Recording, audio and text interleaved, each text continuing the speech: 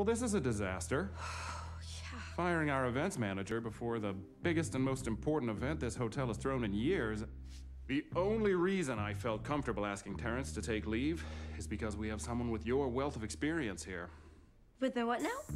I got a call from Miss Preeta. She told me that you quietly found a very important missing item she was looking for. Huh. You're multi talented, Kayla. Do you think you can handle the role of interim event manager?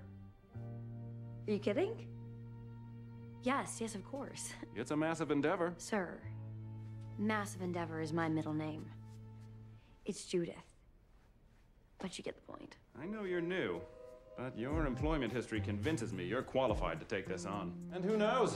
If this weekend goes well, we may be discussing a more permanent position on Monday. I can't imagine anything that could possibly mess this up.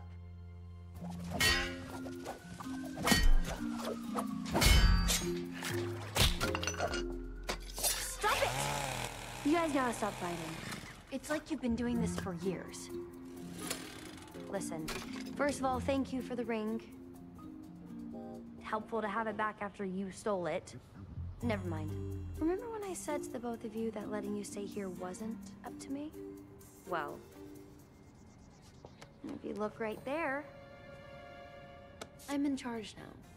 All right? And this wedding, it's a huge responsibility. It's the shot that I've been waiting for, and I can't screw it up. So you two, you gotta go.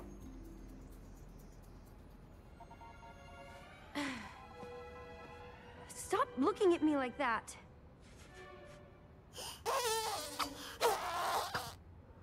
Oh, okay. Maybe you can stay here. But not like this. Uh-uh. That little mess you caused downstairs, it's a disaster. You know what? You want to stay, right? Fine. One condition.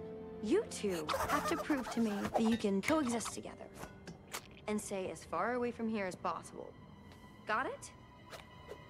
So tomorrow, I'm gonna plan an entire day for you two to spend together. Out there in the Big Apple. And if you do this, you guys can say, do we have a deal?